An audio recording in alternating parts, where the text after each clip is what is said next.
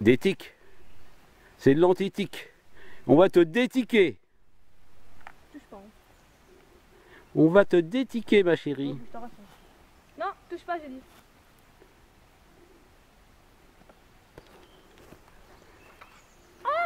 Touche pas. Ben, je pense qu'il y a une bestiole dedans. Tu vois.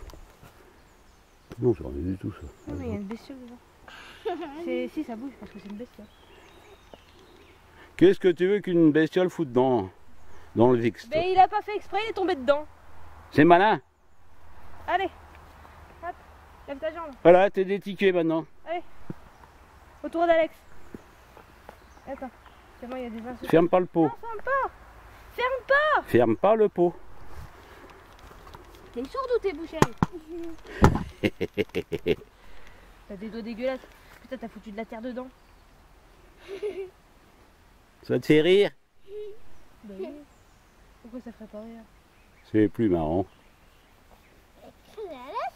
Eh ben oui. Tiens, tiens-moi ça deux secondes. Tu touches pas, hein. Touche pas l'intérieur.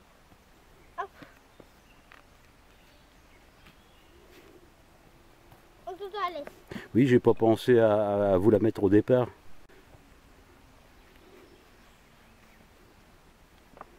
Touche pas, j'ai dit.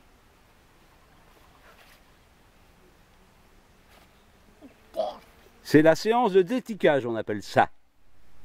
C'est beau? Non, c'est des ronces, ça, ma chérie. Touche pas, ça pique. Ça pique Je Ils vont dire, elle imite sa sœur, en fait.